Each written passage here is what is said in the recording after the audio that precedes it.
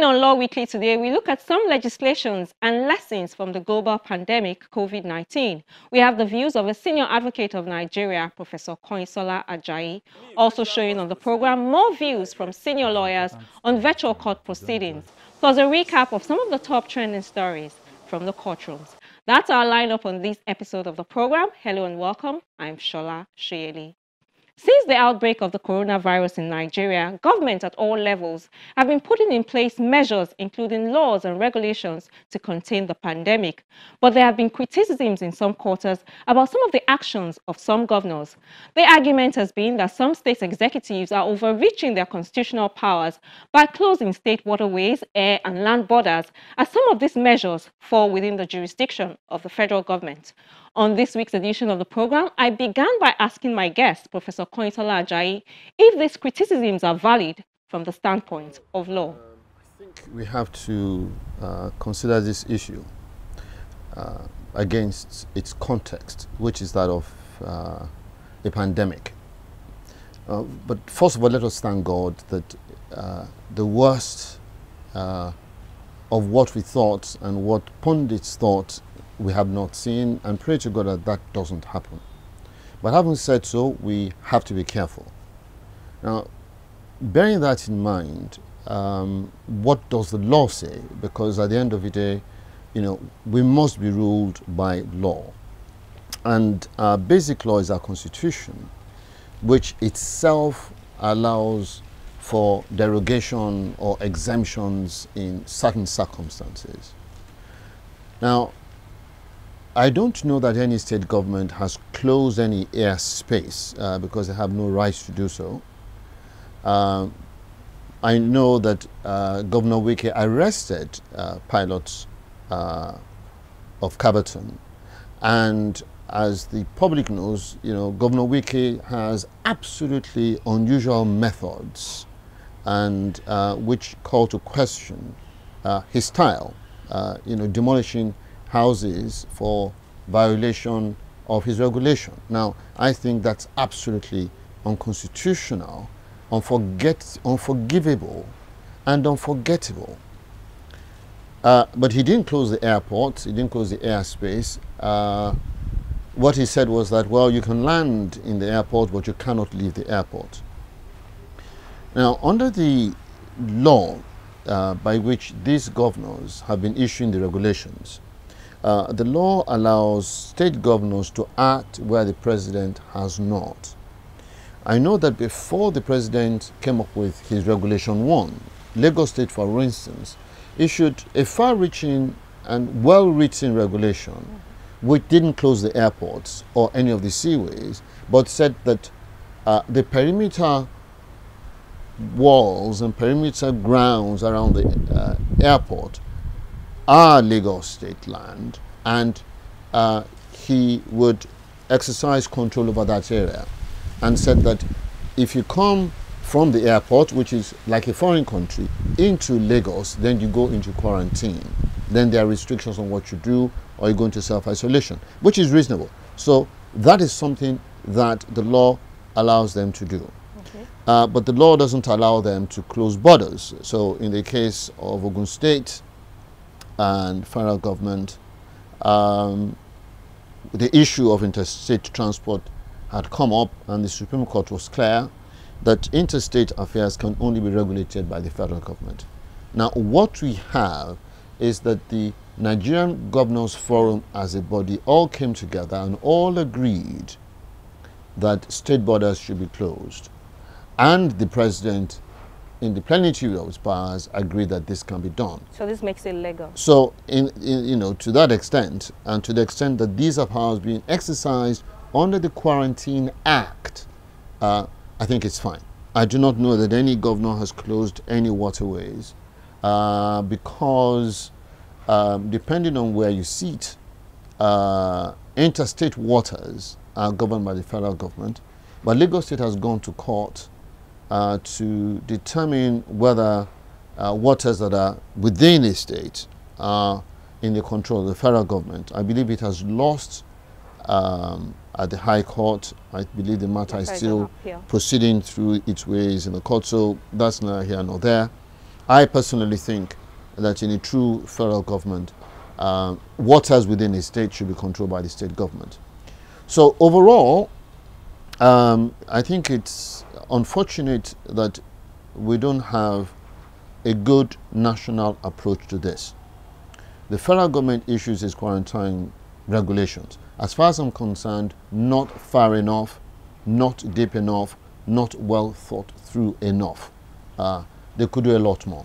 Um, so what Well, is what did you expect the federal to do with that? You said it wasn't far reaching enough. Yes. What, what would they have done differently? So, um, I think the federal government, first of all, uh, should have been driven more by what uh, the DG of NCDC would have to say uh, than what um, the politicians in cabinet and the PTF may have to say.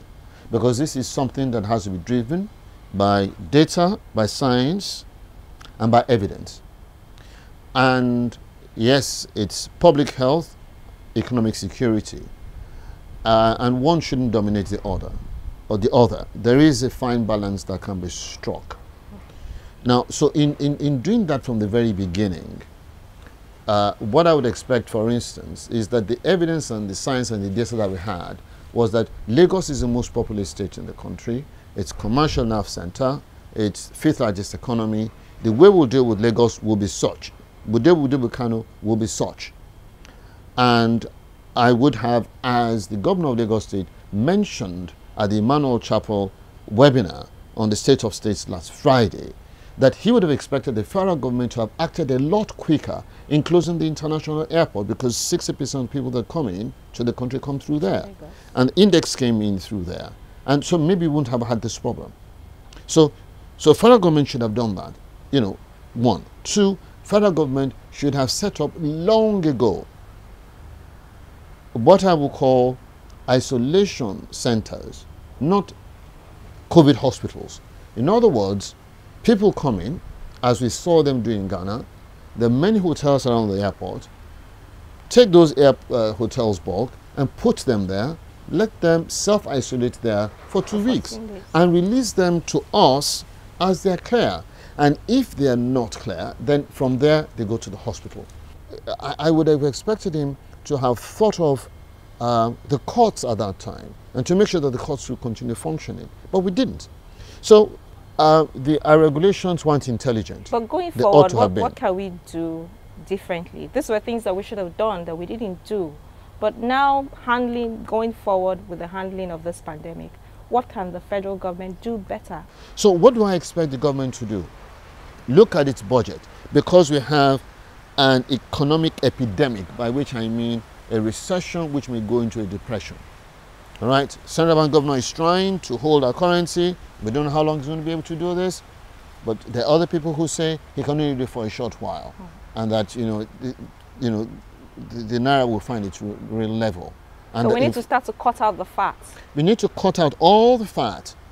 We need to face the National Assembly and say, well, guys, you know, uh, you know, less than a thousand of you earn so much money that can build us field hospitals. So, gentlemen, it's not a matter of cutting 20% or 40%. It's a matter of rethinking the whole of that exercise. All right? So, what I will expect is the government to rethink its budget altogether. I'm not an economist, but if the government borrows money heavily now to create high impact job creating uh, programs, we will all benefit from it. And that's what the government should be doing. And that's one big problem because a lot of us are worried and are fearful now about our future. Whether I would work tomorrow, whether I'll be well paid, whether inflation is going to kill me. And then we have this pandemic, which is making us sort of a bit cautious. Government needs to give us the confidence by giving the economy a boost. And it's either two things. I would, if I were Buhari, now say I'm going to drive the economy by education. So it's an education, edu- education economy or a health economy. And I now tie everything else, or education, health economy. I tie everything to that. around The roads I will build, the schools that I will build, the technology that I will deploy, the bridges that I will build, the power, right, that I will build, the waterways that I will dredge, the water that I will make, the fashion industry, the clothing industry, the entertainment industry, all is going to be tied around that. Awolowo, when he was premier, spent over 55, 45% of his budget on education. He had an education economy. But you know what? He just didn't use it to build schools. Everything, the, it was what drove the economy. Uh, but then we'll all see what happened. So a stadium is part of education. So that's what I would do if I was government today. What for you are the lessons from this pandemic for the judiciary? Right. Um, first lesson um, is that it exposed the archaic and analog nature of our courts. It exposed the fact that both bar and bench are not ready for the future. Why you say that? Uh, because you listen to lawyers and they obsequiously argue that you know you can't have virtual hearings and that's unconstitutional. You notice the time it took the court to embrace this virtual hearing that we have because we don't have any virtual courts at all. The third thing is that it exposed the belly of the misapplication of federalism to the judiciary. Our constitution creates our courts. The making of rules is in the constitution.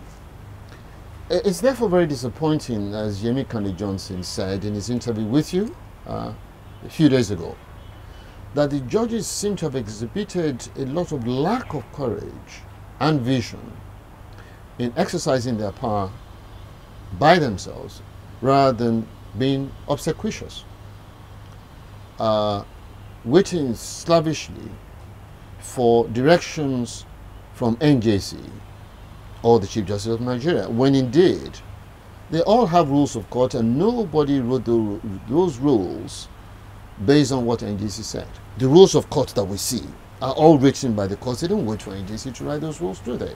But anyway, so they all waited in the first instance for NJC to do this. Why can't we? The rules today allow evidence to be given by remote means, i.e. before COVID.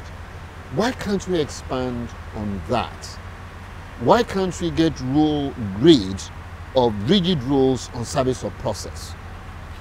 Talk to us about the constitutionality of virtual courtrooms. All right. So I think it goes back to what we are just talking about. But uh, in a mock trial uh, between Ogunwumiju and uh, Otepa, Senior Advocate of Nigeria, before Afren, these matters were discussed, and you know his ruling was that it is constitutional, and that we do not need to amend the constitution. We can't amend the constitution for everything we want to do, and I would rather a wholesale uh, look at a constitution which is a military con contraption as far as I'm concerned, and getting a constitution which is a reflection of the will of the people. Because Justice Niki Tobi, bless, God bless his memory, sat with some people, wrote, you know, uh, panabated 1979 constitution, added a few things, and gave us this constitution. And then immediately passed it. Uh, there's no reason why we can't have a, uh, a plebiscite or an election where we appoint members to constituent assembly and then they give us a constitution. But before then, what can we do? Because we must move on.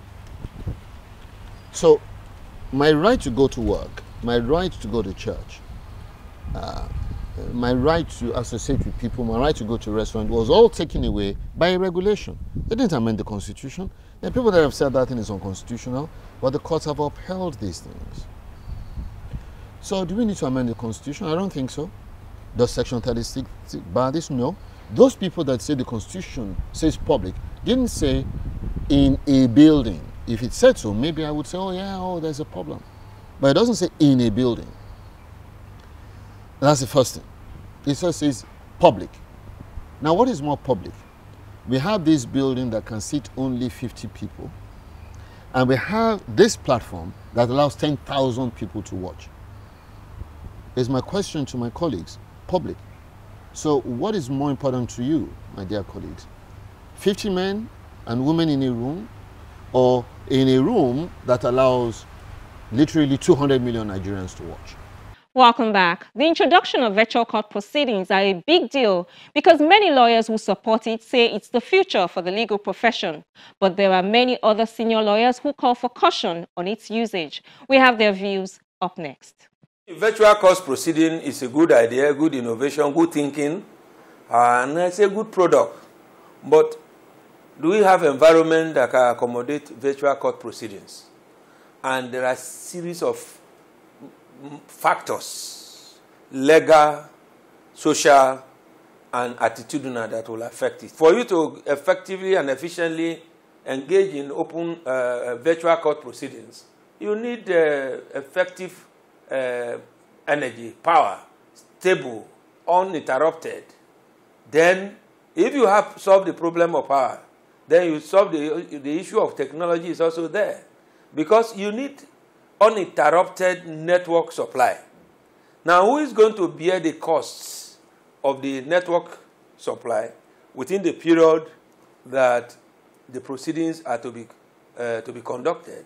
Because you need to pay, you need to recharge your phone, you need to uh, pay for data, you need to have all that.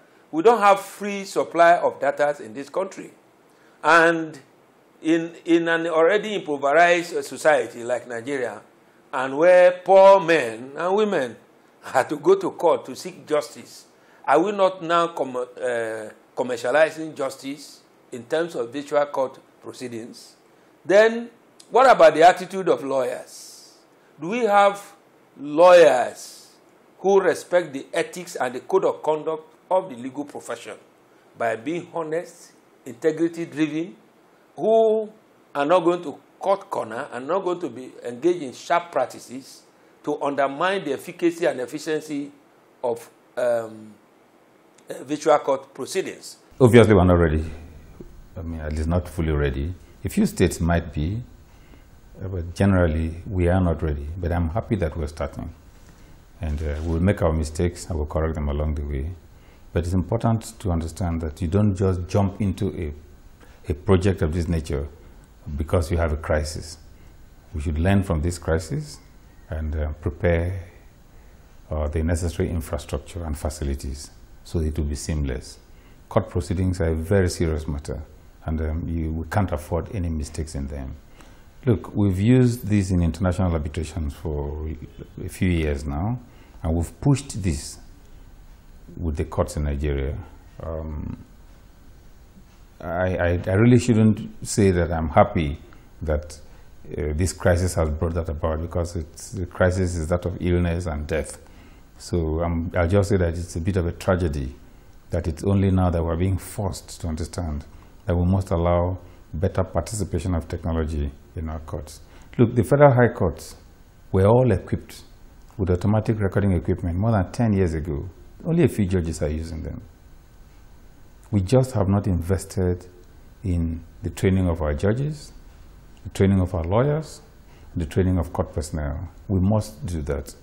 In fact, um, I dare say that until we embrace these technologies, for instance, eliminating the writing of court notes by judges at the High Court, Court of Appeal, Supreme Court, even in magistrate courts, until we eliminate those, we are still practicing 16th, 17th century uh, procedure because there are too many risks and then look at all the delay that it occasions. So this is a good idea, but I just hope that the various chief judges that have implemented this have thought about all the challenges. And just before we go, here's a recap of some legal stories we're tracking. We begin with the report that the Federal High Court sitting in Lagos has fixed June the 2nd to hear an application by the former Abia State Governor, Senator Orji Uzor Kalu, seeking his immediate release from the custody of the Nigeria Correctional Service, Kuje, Abuja. On that day, Justice Mohammed Liman will hear the application. Besides seeking his release, the former governor also wants an order of the court setting aside his conviction dated December 5, 2019 under the hand of Honorable Justice Mohammed Idris since the Supreme Court in its judgment of May 8, 2020 held that it was given without jurisdiction. Senator Kalu has also asked the court to set aside the trial and the sentence passed on each of the 39 counts made against him. Kalu is serving a 12-year jail term at the Correctional Service Center in Kuje, Abuja for allegedly laundering 7.65 billion naira belonging to Abia State. He had a 12-man team of lawyers, including six senior advocates of Nigeria. In Sokoto, the High Court has granted bail to two Chinese citizens accused of bribing an official of the Economic and Financial Crimes Commission, EFCC. The Chief Judge, Justice Mohammed Seidu Sifawa, granted the accused persons bail in the sum of 5 million naira each and two sureties in like sum, one of whom must be resident in Sokoto and have a landed property complete with a certificate of occupancy. He also asked the accused persons to submit their international passport to the chief registrar of the court as they are not allowed to travel out of the country throughout the duration of the trial. In granting bail, the Chief Justice said the Anti-Graft Commission has not been able to dislodge the presumption of innocence of the accused persons. The suspects were arrested last week for offering the sum of 100 million naira bribe to the zonal head of the EFCC in Sokoto State, Mr. Abdullahi Lawal.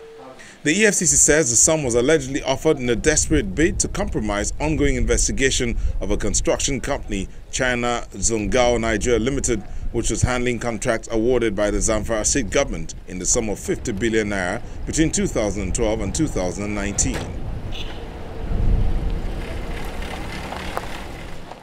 In Bayelsa, the Federal High Court sitting in Yenagoa, the state capital, has sentenced Yunusa Dahiru to 26 years in prison after finding him guilty of child trafficking and other charges. The trial lasted about four years. In August 2015, Dahiru had taken a minor, Ese Oruru, from her home in Bayelsa to Kano, where she was married to him and her name changed to Aisha. After months of outcries from her parents and human rights activists, as well as investigations by the police, she was returned to Bayelsa in March 2016, pregnant with a child. On May 26, 2016, Ese was delivered of a baby and Dahiru was later charged with child trafficking, child abuse, rape, kidnap, infringement on the rights to religion and holding a person against her will. In Abuja, the Kogi State Governorship Election Petition Tribunal has dismissed a petition filed by Natasha Akpoti, the candidate of the Social Democratic Party SDP and her party against Governor Yahaya Bello.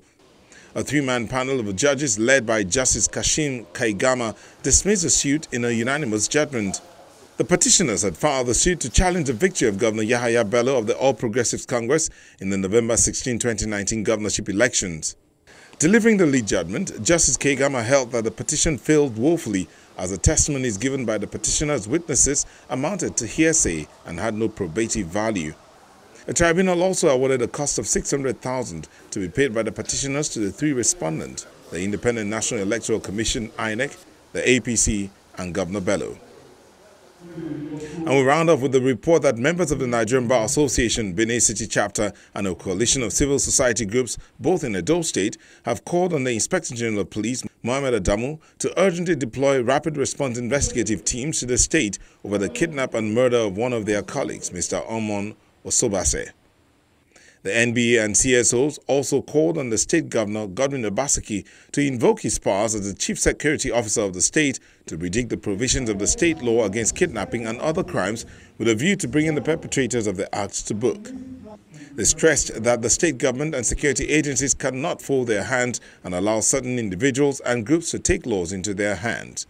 The group particularly challenged various heads of security agencies in the state, especially the State Commissioner of Police, the commander of the 4th Brigade of the Nigerian Army in Benin City, and the Department of State Security, DSS, to rise to the occasion within 24 hours by unraveling the circumstances behind the abduction of the lawyer Omon Osobase.